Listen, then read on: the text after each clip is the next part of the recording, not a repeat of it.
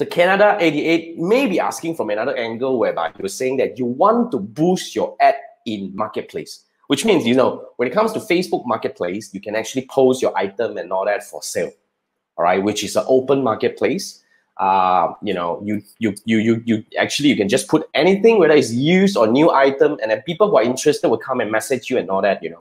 But this is a platform that still do not allow boosting, as in like, you know, when you're actually going over to your Facebook page and you post something, you can click the boost button and Facebook will show your ad to, you know, to people who actually kind of like whatever you can choose the audience and all this kind of thing, right?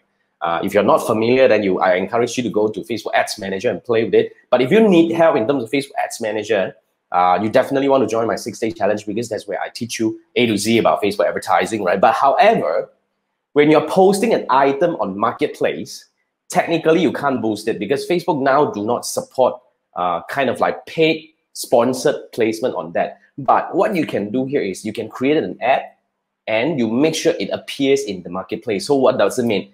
That means when people are browsing content in marketplace, your ad will appear and uh, hopefully they will pick up and they will come over to your whatever destination to actually look at what you have got to offer.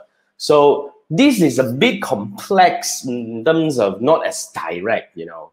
So you won't be able to boost the answer, simple answer to that is you won't be able to boost a marketplace listing, but you can run ad, you know, which you can choose various objectives available on Facebook ads, and you can choose to have your ad appear in the marketplace to capture these people's attention. But you need to understand how this thing works. It's a little bit more complex. So I encourage, like I say, join my six day challenge. I'll put the link in the description already below. Uh, yeah, that would actually help you understand Facebook ads in a better way.